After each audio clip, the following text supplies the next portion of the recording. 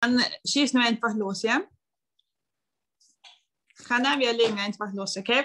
So, ähm, vielen, vielen Dank, dass Sie heute gekommen sind. Es ist sehr, sehr schön, Sie hier alle zu sehen. Es ist der dritte Teil äh, von, unserer, von unseren acht Geheimnissen für, für eine ähm, glückliche Ehe, glaube ich, so hieß das. Ähm, ich wurde daran erinnert, ähm, allen zu sagen, dass dieses, diese Reihe von Limot und Zion ähm, gesponsert wird. Vielen Dank für, für diese Möglichkeit. Ähm, ich glaube, Hannah wird jetzt noch ähm, am Ende einen Link posten bei JGIT, vielleicht wenn Sie eine kleine Summe spenden würden für die Organisation, die so tollen Unterricht für Frauen und Männer und auch für alle in der Welt ermöglicht.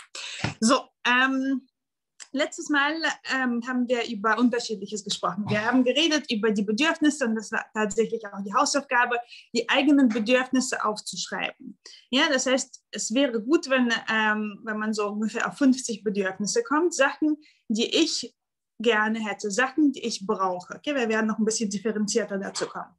Es ist wichtig, diese Sachen ähm, zu kategorisieren. Das heißt, wir haben vier Bereiche genannt, die absolut notwendig sind für jede Person und für jede Frau insbesondere.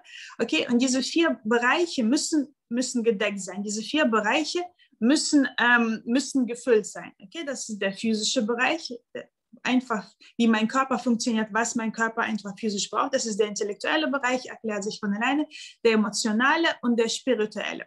Alle diese vier Bereiche müssen im Leben einer Person komplett ausgewogen sein. Komplett wird es niemals sein, aber es, man strebt es an, eine Balance zu finden. Okay? Jeder von diesen Bereichen sollte in meinen Bedürfnissen vertreten sein. Natürlich, jeder ist sehr einzigartig und hat seine Bedürfnisse, aber es ist wichtig und viele Frauen neigen dazu, bestimmte Bereiche zu vernachlässigen. Zum Beispiel ein typischer Bereich, wenn ich mit jungen Frauen arbeite, ist Freundschaften. Sobald man heiratet, plötzlich lässt man alle Freunde liegen, weil einfach so viel los ist und der Mann da ist und so weiter. Ja, es ist ein extrem wichtiger Bereich. Wir werden ähm, nochmal extra darüber reden, wie wichtig es für eine Frau ist, einen, einen sogenannten Frauenkreis zu haben, einen Kreis von ähm, weiblicher Kommunikation. Es ist extrem wichtig, weil bestimmte Konversationen wird sie mit ihrem Mann nicht führen können. Und je, aus, je ausgeglichener sie ist in ihren ähm, weiblichen Freundschaften, sehr oft wird es sehr viele Spannung aus ihrer Beziehung mit dem Mann wegnehmen. Wir haben gesagt, dass es sehr, sehr wichtig ist für jede Frau, für sich zu definieren, ähm, was sie genau von der Ehe erwartet. Genauso wie wenn wir keine Ahnung was, ein, ein neues Gerät kaufen. Okay, ich kaufe einen neuen ähm, einen Ofen. Okay, ich muss genau verstehen, wofür brauche ich dieses Gerät. Okay, dieses Gerät ist nicht dafür da, um mein Zimmer zu beleuchten. Dieses Gerät ist keine Heizung. Okay, dieses Gerät ist kein Staubsauger. Es ist ein Ofen und dementsprechend wähle ich die Funktionen und bin ich bereit, da rein zu investieren.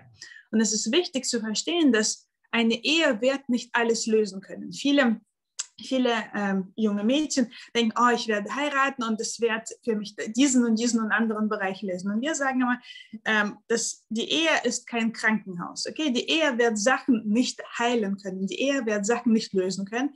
Was aber im Gegenteil sehr oft passieren wird, ist, dass die Ehe wird Sachen ähm, offenbaren, vielleicht ans Licht bringen. Okay, genau wie ein Lackmuspapier. Sachen ähm, offenbart, okay, es offenbart, wie säuerlich, wie basisch etwas ist, genauso eine Beziehung wie Ehe offenbart Sachen, die ansonsten versteckt wären. Hat jemand eine Ahnung oder eine Vermutung, warum? Warum ist es so, dass die Ehe Sachen, ähm, also lassen wir mal die, die erste These, dass die nicht heilt, aber dass die Ehe bestimmte Sachen in uns offenbart, bestimmte Sachen in uns offenlegt, wie eigentlich fast gar keine andere Beziehung. Ich lasse mal die Beziehung zu den Kindern beiseite. Was ist an der Ehe spezifisch so, dass genau diese Beziehung uns ähm, so stark ins Reine bringt.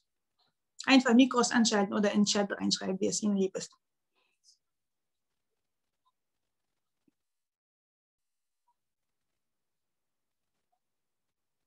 Was ist an der Ehe das Besondere, das ähm, uns so stark ähm, triggert, das uns so stark, okay, wir öffnen uns. Warum öffnen wir uns in anderen Beziehungen nicht? Okay? Also es ist wichtig, dass es bestimmte Beziehungen in unserem Leben gibt, die Ehe spiegelt uns. Das ist wunderschön. Ich hatte eigentlich auf meiner Einladung zu, unserer, zu meiner Hochzeit ähm, einen wunderschönen Passuk von, äh, von König Schlomo, dass wie im Wasser sich ein Gesicht zum anderen spiegelt, genauso im Leben.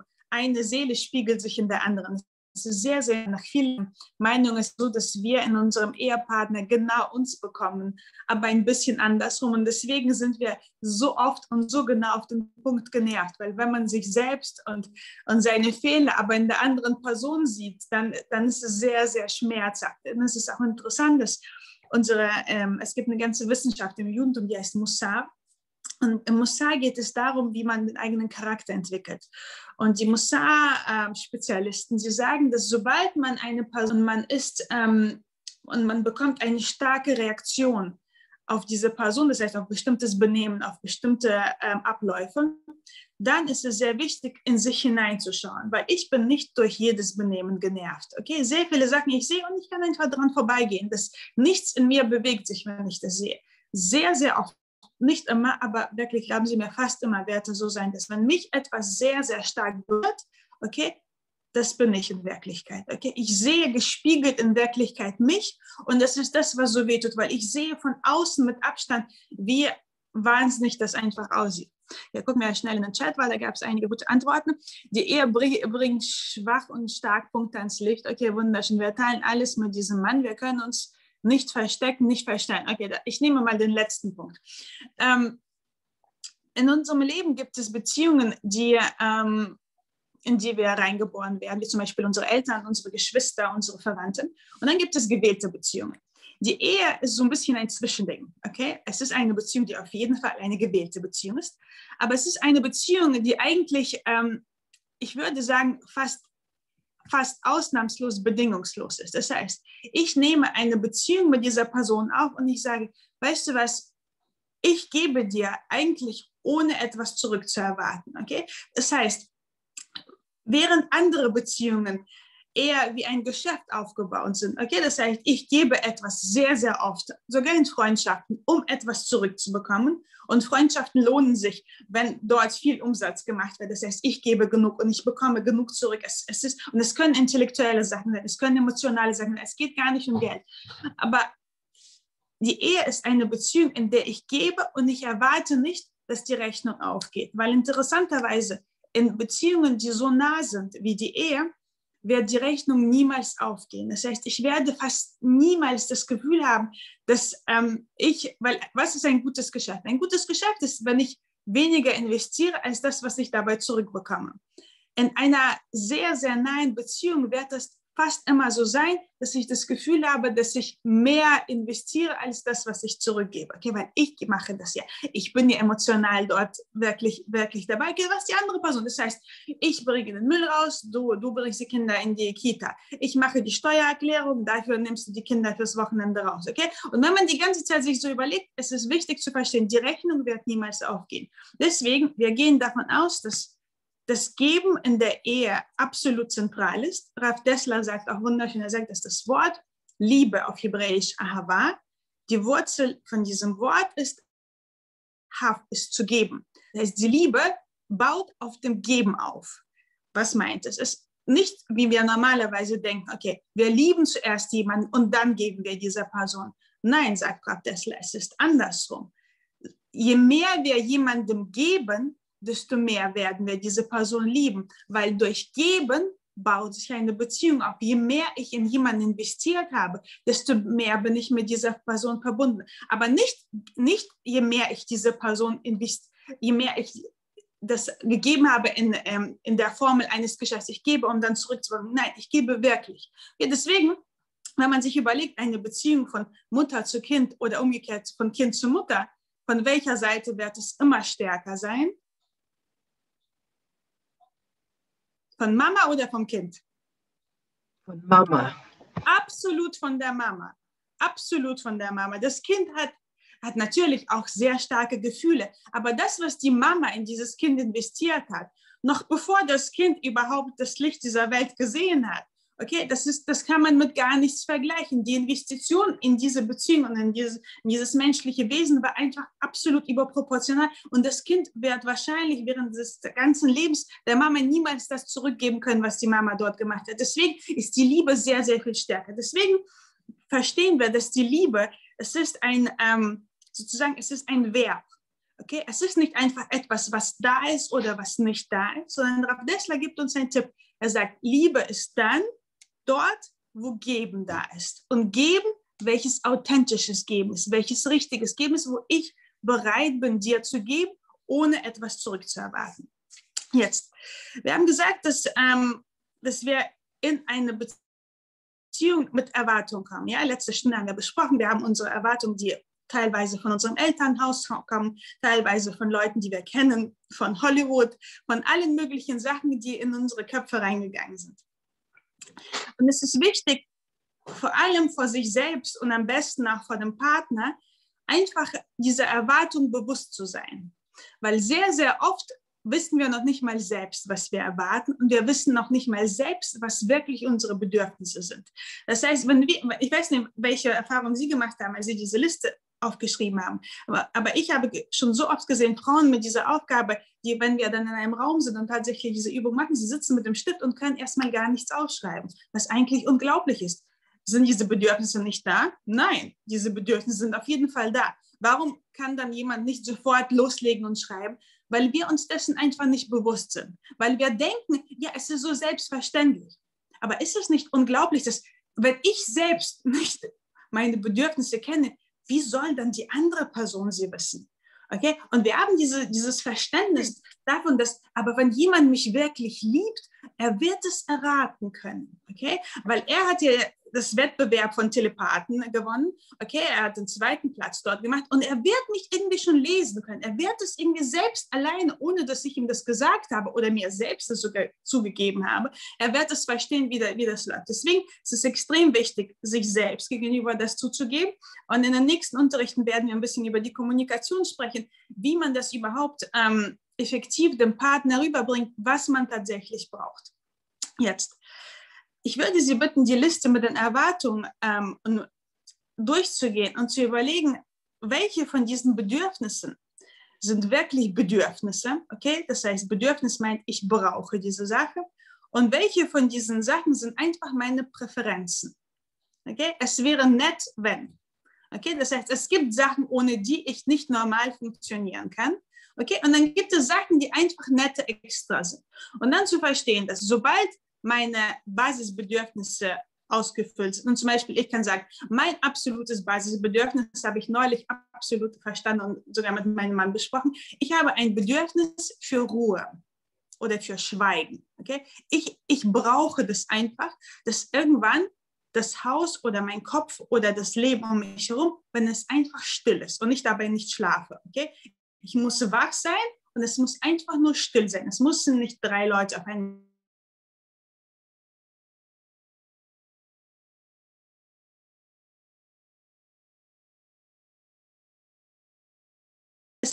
für mich fast unmöglich, normal zu funktionieren. Und dann ist es wichtig für mich, diese Bedürfnisse an, an, mein, an meinen Mann und an meine Umgebung zu kommunizieren.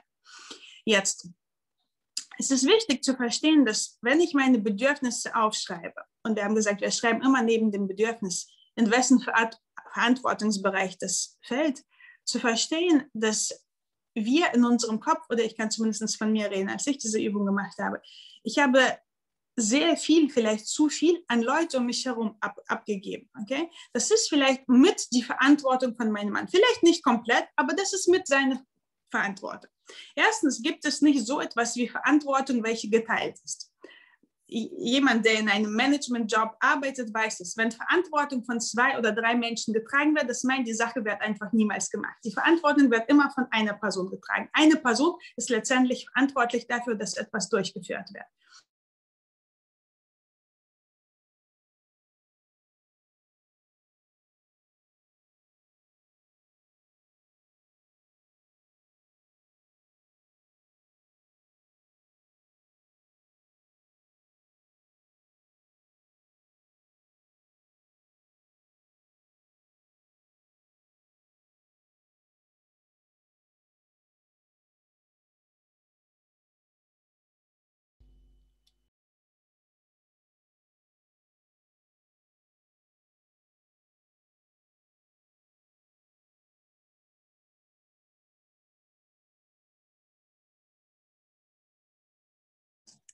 Is it just me or is Ita gone? Ita, Ita ist raus und dann wieder rein. Wir versuchen, sie zurückzubringen.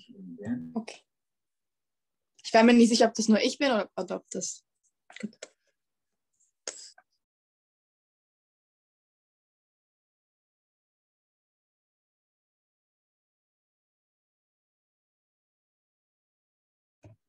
Don't disagree. So,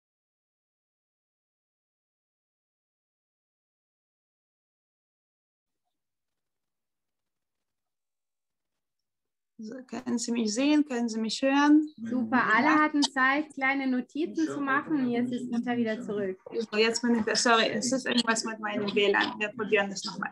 Okay, das heißt, wir sagen, dass bei den Bedürfnissen es ist extrem wichtig zu verstehen, in wessen Verantwortungsbereich das fällt. Und es ist legitim zu sagen, dass die Eltern verantwortlich sind für die Bedürfnisse ihrer Kinder bis zu einem bestimmten Alter. Aber es ist eigentlich, und natürlich ist es sehr, sehr persönlich, aber im Großen und Ganzen ist es eigentlich für eine gesunde, erwachsene Person nicht legitim zu sagen, jemand anders ist für die Erfüllung meiner Bedürfnisse verantwortlich.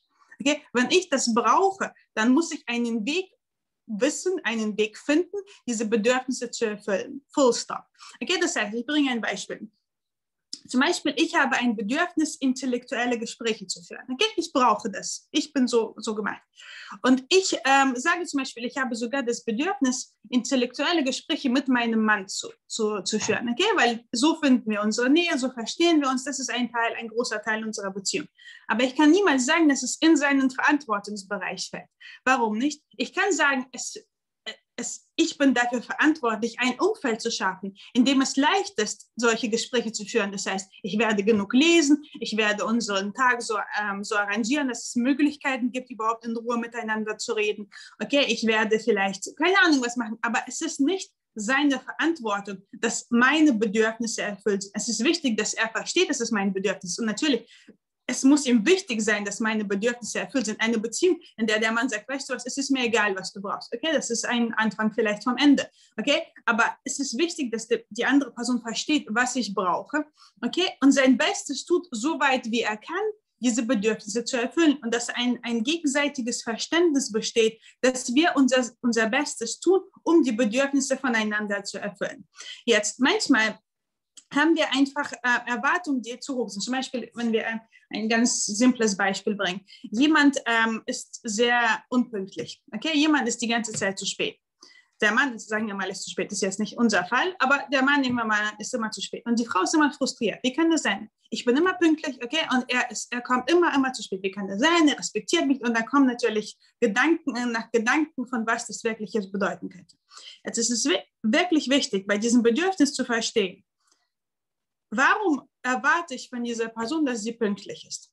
Hat diese Person wirklich mir jemals gezeigt, dass sie pünktlich ist? Okay, ich bin so, aber ich bin eine erwachsene Person. Ich verstehe, dass Menschen unterschiedlich sind. Ich kann nicht erwarten, dass alle so, und wenn tatsächlich alle so wären wie ich, wäre die Welt sehr, sehr langweilig. Okay, das ist eine andere Person. War diese Person jemals pünktlich in seinem Leben? Nein, noch nie. In allen Jahren, das zum Beispiel, ja, wir zusammenleben, es war noch nie der Fall. Warum erwarte ich immer noch, dass es der Fall sein wird. Es ist nicht einfach ein pinkes Fantasieschloss von Disney, was ich mir aufgebaut habe, was aber tatsächlich mit dieser Person nichts zu tun hat. Ja, aber ich kann sagen, ja, aber es ist mir unbequem. Okay, ich mag es rechtzeitig loszugehen. Ja, dann muss ich mich technisch so ein, ein, ein, einpendeln. Okay, dass ich weiß, diese Person ist immer 15 Minuten spät. Ich habe zum Beispiel Freunde, die einfach pathologisch immer zu spät sind. Okay, es ist immer so, oder es, es, es ist manchmal die Mentalität eines bestimmten Landes, dass alle immer zu spät sind. Okay, dann werde ich mich so ein technisch einfach ähm, organisieren, dass ich weiß, diese Person kommt 15 Minuten spät und ich komme dann 15 Minuten spät. Das ist mein rechtzeitig dann, okay, weil ich werde nicht 15 Minuten irgendwo stehen und auf jemanden warten. Okay, deswegen ist es sehr, sehr wichtig, die Bedürfnisse immer mit der Realität abzugleichen. Ist es überhaupt realistisch, dass ich das von der anderen Person erwarte? Hat diese Person jemals mir gezeigt, vor allem kommt diese Gespräche, ja, aber ich, das hast du schon tausendmal gemacht und das habe ich dir schon tausendmal gesagt. Okay, ja, dann öffne mal die Augen und verstehe, das ist die Realität. Diese Person ist so. Woher kommt dieses Verständnis oder dieses Selbstverständnis davon, dass jemand sich nach meinen Vorstellungen jetzt umformen soll? Ja, diese Person ist anders, aber ich denke, du solltest so sein. Stellen wir uns vor, unser Mann oder irgendjemand überhaupt in meiner Umgebung würde zu mir kommen und sagen, weißt du was, Ita? Ich hätte gerne, dass du jetzt ab morgen blond bist, okay? Auch unter meinem, äh, meiner Perücke, ich bin nicht blond, okay? Und die Leute kommen und sagen, ich, ich hätte gerne, dass du blond bist. Ich wäre, ich wäre sehr verwundert über so eine Aussage. Warum denkst du, ich sollte jetzt, ja, aber ich, ich finde blonde Menschen gut. Warum jetzt plötzlich? Ich bin nicht blond, ich habe nicht vor, blond zu werden, ich bin so, wie ich bin. Okay, deswegen ist es sehr, sehr wichtig, in bestimmten Bereichen, wiederum ist es nicht über alle, aber über die meisten Bereiche zu verstehen das, was ich von der anderen Person erwarte, wie realistisch ist es und warum, woher nehme ich mir die Freiheit, einfach die, ähm, die andere Person nach meinen Vorstellungen umzufahren. Es gibt immer diese, vor allem in der russischen äh, Kultur, die, diese ganzen Sprichwörter, dass der Mann ist so wie, ist so wie, ähm, wie Knete. Okay? Und die Frau knetet aus dieser Knete das, was er wirklich sein sollte. Wirklich, es gibt diese ganzen Lieder, ich, ich habe ihn geknetet aus dem, was da war und dann habe ich gelernt, es zu lieben woher kommt das? Was ist das überhaupt für ein Respekt zur Persönlichkeit, dass die Frau denkt, oder manchmal höre ich von Frauen, jemand fragt sie, wie viele Kinder hast du? Und dann sagt sie, drei Kinder. Und sagt sie, echt? Ich dachte, du hast zwei Kinder. Ja, mein Mann zählt auch als ein Kind. Was ist das für eine Aussage?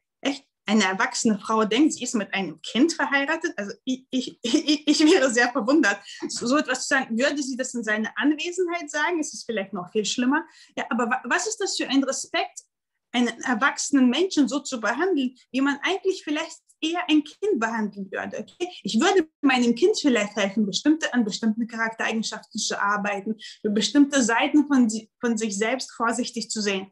Aber eine erwachsene Person und das ist das, was man im Judentum eigentlich Respekt nennt. Dass man sagt, ich sehe dich für das, was du bist und das ist genug für mich. Ich respektiere dich und ich mag dich dort, wo du bist. Okay? Und wir lesen in unseren Schriften, dass das ist eigentlich das Hauptbedürfnis, wenn man jetzt verallgemeinern würde, eines Mannes in einer Beziehung. Ein Mann in der Beziehung, fast jeder Mann, wird vor allem Respekt brauchen. Jetzt werden die sagen, ja, aber jeder braucht Respekt. Sicherlich braucht jeder Respekt.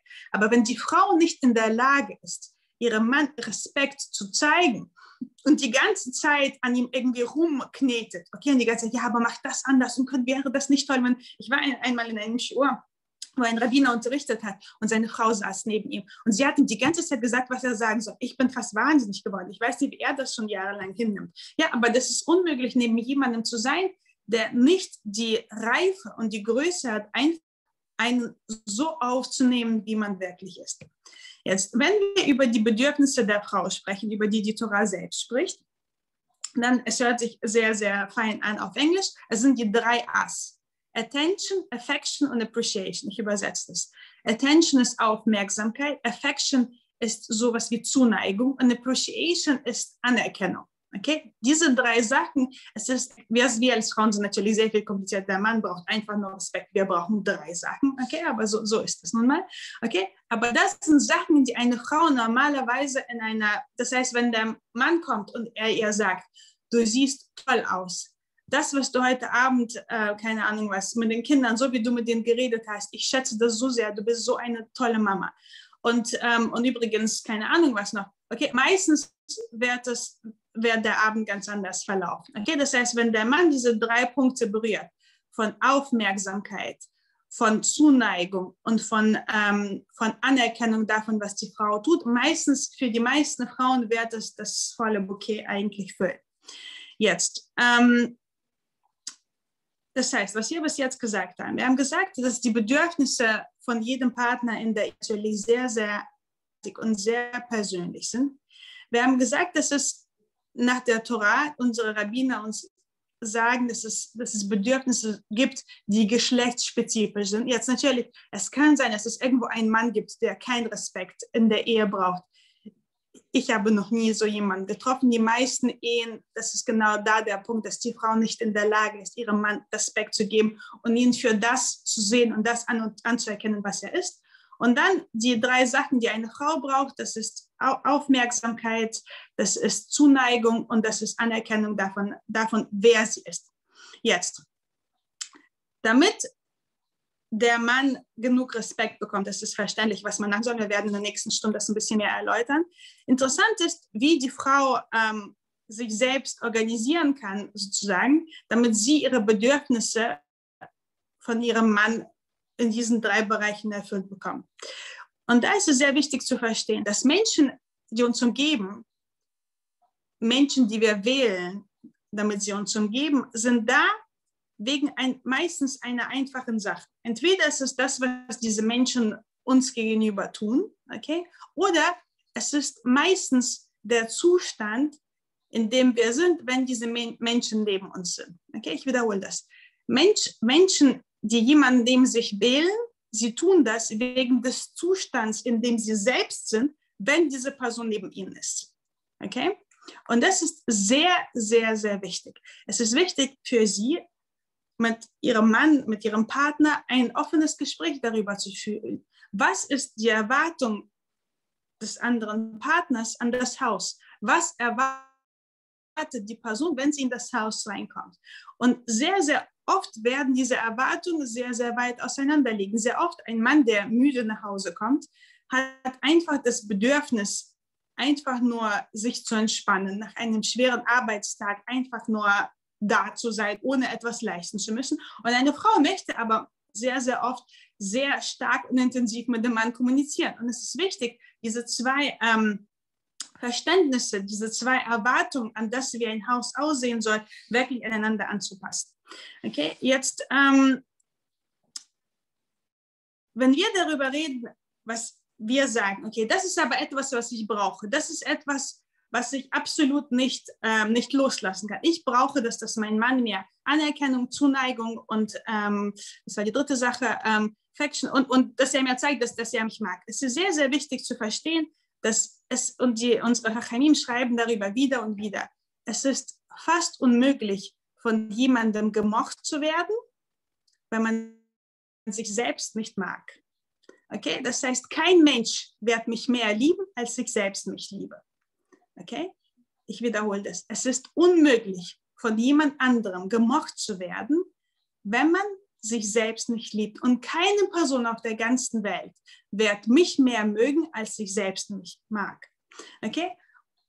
Das heißt, das meine Beziehung zu mir selbst, so wie ich mich selbst sehe, kann eigentlich von keinem anderen getoppt werden. Das heißt, wenn ich selbst nicht schätze, das, was ich mache, wenn ich selbst mich, sogar in so einfachen Sachen, wenn ich mich selbst nicht schön finde, ist es fast unmöglich für eine andere Person zu kommen und sich für mich zu begeistern. Ja, wenn wir Zeit haben, äh, wir können ein, ähm, in der nächsten Stunde ein Training machen. Ich habe das schon mehrmals mit Frauen gemacht. Ein Training, wie man Komplimente macht und wie man Komplimente annimmt. Und es ist faszinierend, wie schwierig es ist für die meisten Frauen, Komplimente anzunehmen. Ja? Jemand kommt und sagt, wir trainieren das im Raum eine Frau kommt und man trainiert das ein paar und man weiß, es ist vorgespielt, es ist nichts, nichts echtes. Und man sagt, du siehst wunderschön aus. Okay, und die wissen die Regeln, wie man ein Kompliment an und sie nach, ach, das ist doch gar nicht, du siehst gut aus. Okay, dann antwortet man irgendwelches Blödsinn zurück. Aber warum? Warum sind wir nicht in der Lage, einfach ein Kompliment auszunehmen und zu sagen, danke. Das, das, das, fühlt sich so gut an. Danke, dass du mir das gesagt hast. Okay, einfach aufrichtig das aufzunehmen, weil wir uns selbst in vielen Sachen gar nicht sicher sind.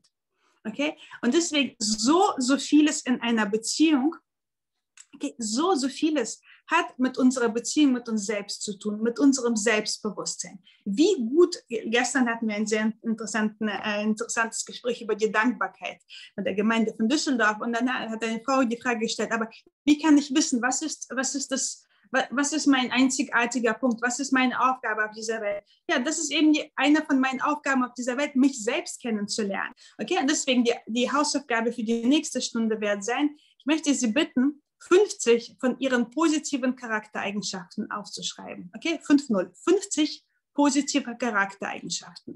Ja, okay ich, ich bitte Sie einfach, sich hinzusetzen und das aufzuschreiben. Okay, einfach eins nach dem anderen. Wenn einfach keine Adjektive mehr einfallen, dann können Sie googeln. Es gibt, ähm, es gibt Listen. Also normalerweise würde ich eine Liste rausgeben mit Adjektiven von, äh, von, äh, von Charaktereigenschaften und dann von dort einfach rauszunehmen und nicht zweifeln. Ich sage, ah, bin ich das wirklich, bin ich das? Einfach drauf los. Okay, das sind Sachen. Und dann, nachdem Sie 50 auf einer Seite drauf haben, würde Sie bitten, 10 rauszunehmen, die stärker sind. Okay, und dann fünf, die wirklich ihre fünf Charaktereigenschaften sind. Das heißt, wenn ich Sie jetzt ähm, in einem Interview bitten würde, sich in fünf Worten zu erklären, wenn Sie diese fünf Eigenschaften nennen würden, das wären tatsächlich Sie. Okay, und das werden wir, diese fünf Eigenschaften sehr, sehr stark brauchen, wenn wir über Streit reden. Die spielen eine riesige Rolle dort. Und für sich selbst ist es sehr, sehr wichtig, sich selbst erstens zu beobachten, während ich diese 50 aufschreibe. Okay, wie viel Widerstand ist dort? Ich schreibe, oh, ich bin, ähm, keine Ahnung, also ich bin intelligent. Echt, bin ich intelligent? Okay, weil dieses innere Gespräch ist fast interessanter als die Liste selbst. Okay, und dann tatsächlich diese fünf aufzuschreiben und diese fünf so ein bisschen ähm, zu lernen.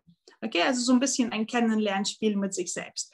Und ähm, in der nächsten Stunde werden wir ein bisschen darüber reden, welche Rolle Selbstbewusstsein in, ähm, in den Beziehungen spielt, wie man daran arbeiten kann. Und hoffentlich kommen wir ein bisschen der Selbstkenntnis hoffentlich näher. So, ähm, wir sind eigentlich so ein bisschen ähm, am Ende von dem angelangt, was ich heute ähm, gerne ähm, erzählen wollte. Wenn Sie irgendwelche Fragen haben, können wir sie besprechen. Ansonsten, ich lasse Sie mit der Hausaufgabe und bitte, also nachdem Sie jetzt Zoom ausmachen, tatsächlich setzen Sie sich hin und machen Sie sofort die Aufgabe, weil man sagt, ja, ja, ja, ich mache das irgendwann später. Ja, ja, ja, bestimmt machen Sie es später. Einfach sofort sich hinzusetzen, diese Aufgabe zu machen. Und es ist so wichtig, auch Salanta sagt, es ist möglich, 70 Jahre, wir haben das im ersten Unterricht gesagt, mit sich selbst zu verbringen, ohne sich selbst kennenzulernen. Und das ist, das ist sehr, sehr traurig. Und wir haben so viel Ablenkung jetzt und so viel Blöder, weil was uns gibt.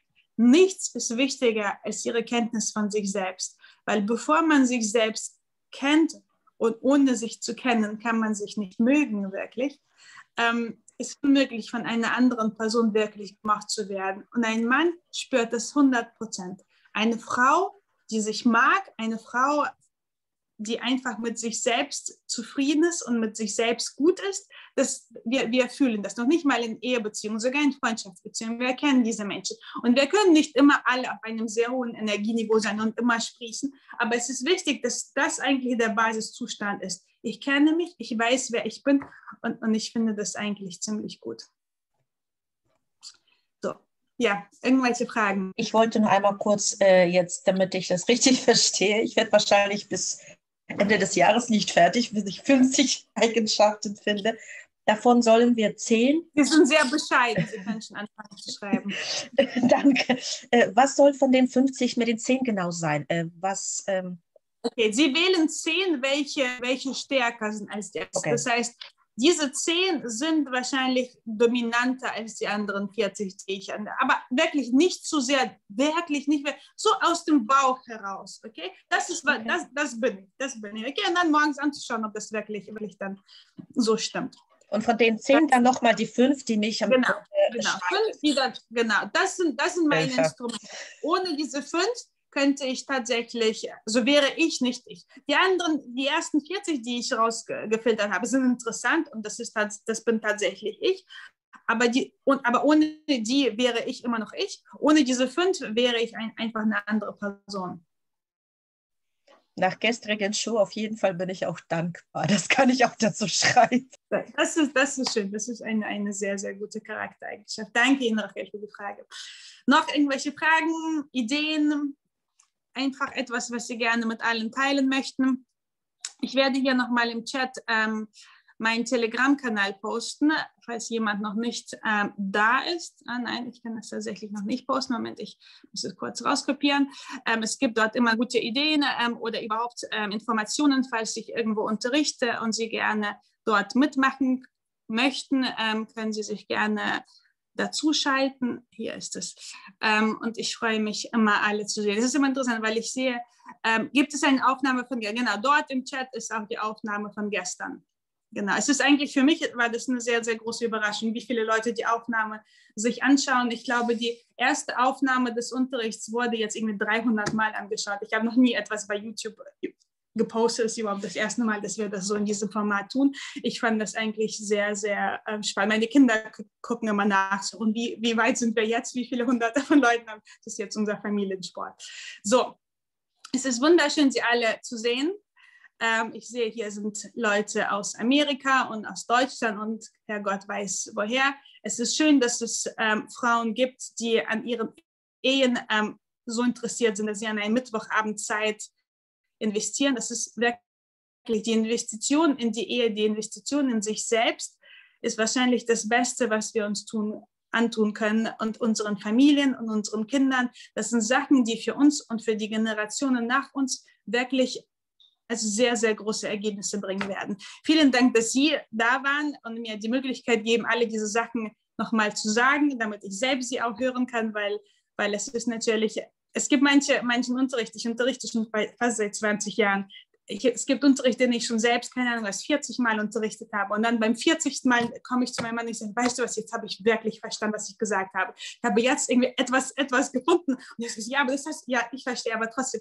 Deswegen vielen Dank Ihnen für diese Möglichkeit. Es ist wunderschön, Sie zu sehen. Und ich hoffe, Sie nächsten Mittwoch ähm, hier dann wieder zu sehen. Danke Ihnen, danke nochmal an Hanna und Limot und Tora Mizion und alle tollen und wunderbaren Frauen, die, die heute da waren. Vielen, vielen Dank Ihnen und viel Kraft und Inspiration und Selbstkenntnis und alles. Machen Sie es gut. Vielen Dank, liebe Ita. Vielen Dank. Vielen, vielen Dank. Und wir haben Zeit bis zur nächsten Woche, uns deine Aufnahme 40 Mal anzuschauen um das dann richtig zu verstehen. Macht's gut. Ganz lieben Dank okay. an Ita und alle tollen Teilnehmerinnen. Gute Nacht. Alles Gute. Gute Nacht. Mach's gut, ja.